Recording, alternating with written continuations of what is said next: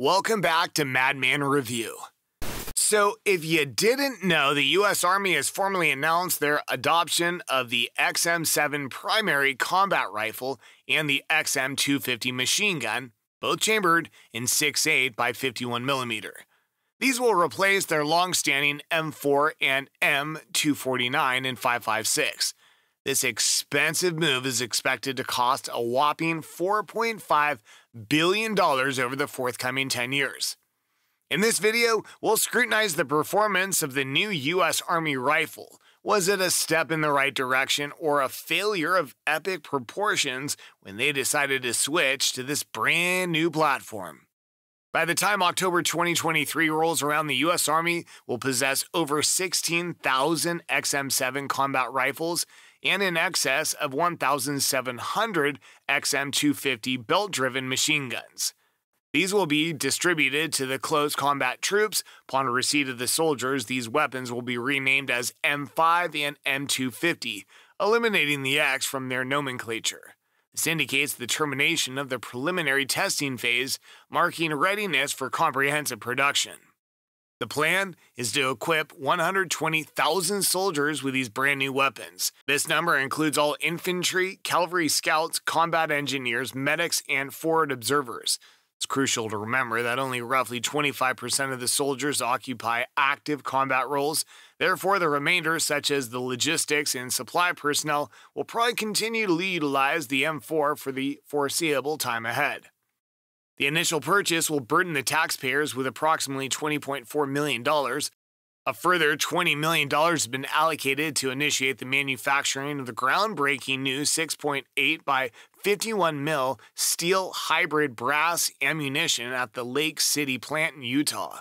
This facility generates roughly 2 billion rounds of ammunition annually, constituting the lion's share of the U.S. military's small arms ammunition. What is the XM7? The XM7, earlier referred to as the XM5, is the U.S. Army's full powered version of the SIG MCX Spear. However, the SIG MCX Spear, available to the general public, only comes in 308 Winchester and 6.5 Creedmoor. While the XM7 utilizes the brand new 6.8 by 51 mil, also known as the 277 Fury.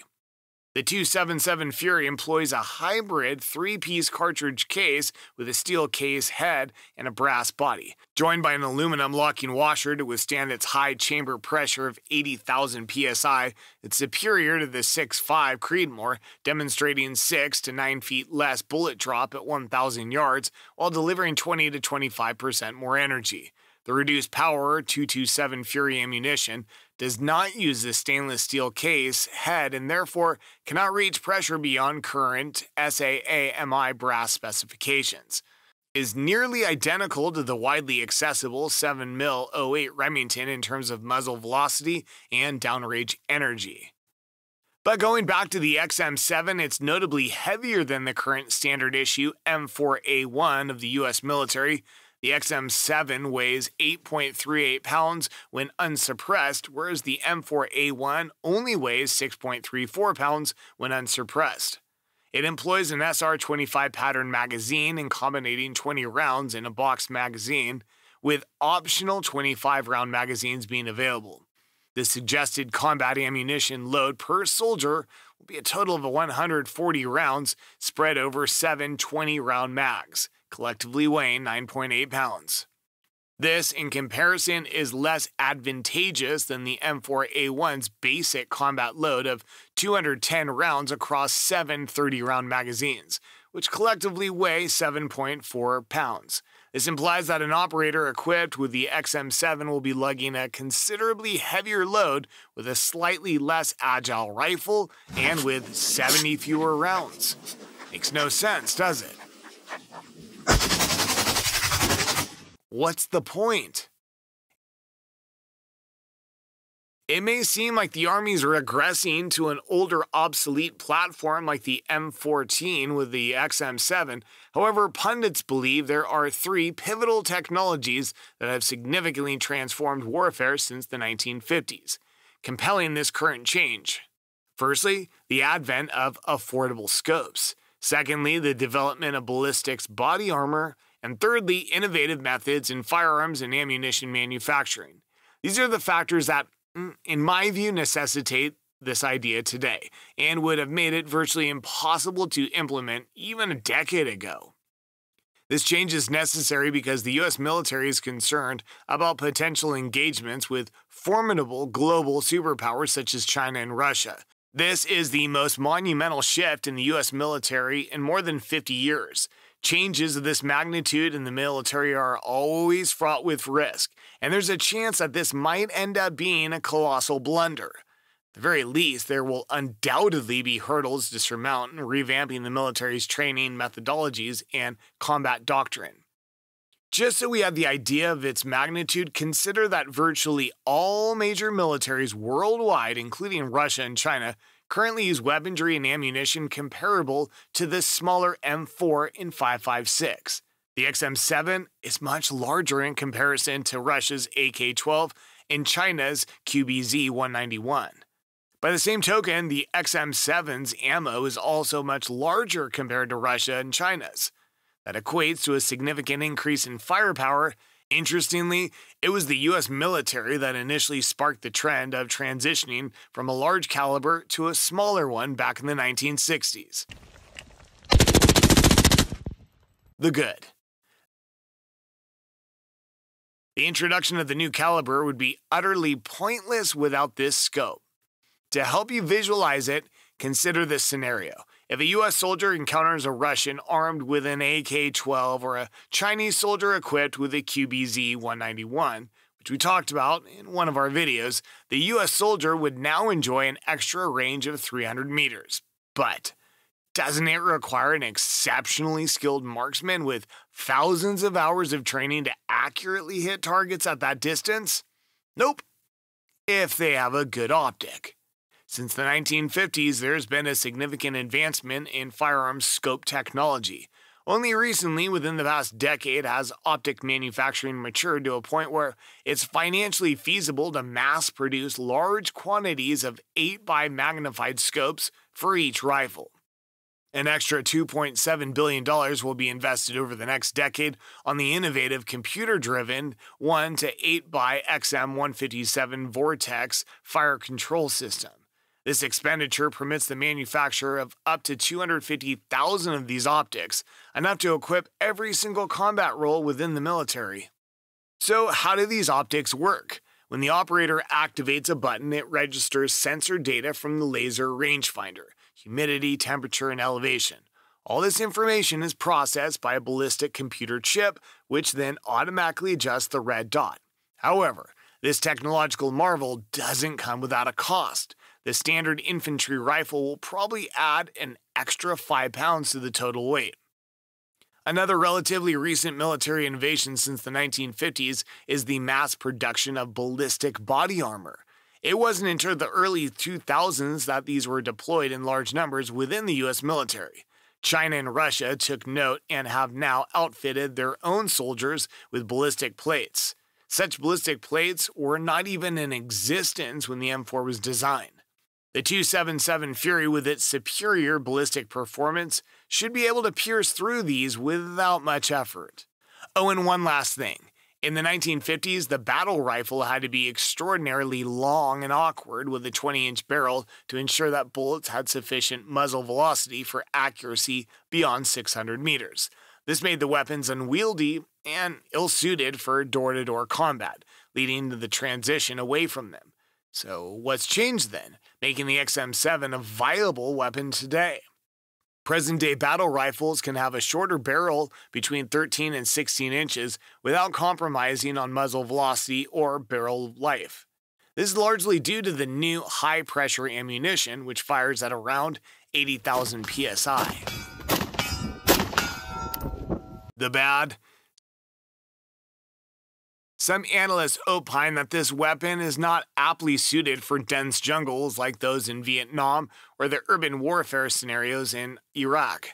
The main contention against the NGSW is that it's excessive, with the Army having swung from one extreme to equipping troops with the underpowered M4 to now arming them with this overpowering XM7. The suggested alternative here would be to strike a balance between the two rifles. Some would still carry an M4, others would carry XM7. But there are reportedly issues arising from civilian testing. As it turns out, the XM57 fails after a single round in a mud test. Given that the platform operates on a piston driven system, it lacks the gas that the original M16 design utilized to expel debris from the ejection port. Perhaps aiming to avoid long term health and safety concerns linked to rifle gas, the Army has chosen an operating system that's less robust in battlefield conditions. While this decision can be understood from certain perspectives, in the broader context, it could potentially result in a detrimental cost benefit analysis, risking severe consequences in war scenarios. Civilian testing, either not conducted or concealed by the Army, has also recently shown that the rifle seemingly fails to meet its base criteria of penetrating level 4 body armor at point blank ranges. True, the Army never explicitly set this as a goal, but it is nonetheless implied at every level from media to Congress that the rifle will penetrate said armor unassisted. Indeed, that was the fundamental objective of the program. Of course, the rounds can penetrate body armor with armor piercing rounds, but the same is true for 7.62 by 51 NATO, and even 5.56 by 45 NATO. Another issue pertains to the weapon's sight. The Vortex XM157, which may have crucial components manufactured in China, is certainly not an auto aiming sight. For assured hits, the shooter still needs to manually ping the target. This takes away valuable seconds and renders shooting with 100% accuracy on the fly, as visualized under the program to justify the reduced available round count. An absolute fantasy. Apart from these features, the scope is essentially a regular scope. The ugly. The biggest problem with the program is the insufficient supply of tungsten available from China, as the Army knows, making the aim of transforming every round into armor piercing barely plausible. The plan also takes for granted that the world's largest supplier by far would have no objections to selling tungsten to America, only for it to potentially be used against its own troops in a hypothetical World War III scenario. Even the production of steel core penetrators would present significant challenges when the time comes, adding layers of complexity and time to an endeavor which is deeply time sensitive. Regardless, most major bullet manufacturers and even the Army, prior to the program, have shifted to tungsten penetrators for a reason. Despite it raising the cost by an order of magnitude and supply issues, maybe the Army has a solution. Maybe. The marginal improvement in ballistic coefficient between the 6.8 by 51 and 7.62 by 51 cartridges neither vindicates the financial investment into the program nor does the modest increase in kinetic energy delivered on target, which is a mere function of case pressurization within the modified 7.62 mm case. Therefore, the overall mechanical outcome of the program design wise is a rifle still chambered in 7.62 by 51 NATO base case, now featuring dual weapon charge options and a folding stock. This marks the boundary as the highly touted generational design leap under the program. While the highly advanced case pressure technology is certainly a good thing, the issue lies in the fact that, in terms of ballistics, the round is not markedly superior compared to existing off the shelf options that the Army nearly selected under the now denounced Interim Combat Service Rifle Program, or indeed those it somewhat paradoxically acquired just prior to the start of the NGSW program with the HK M110A1. Personally, I think the XM7 looks promising, but as with all things that are brand new, only time will tell.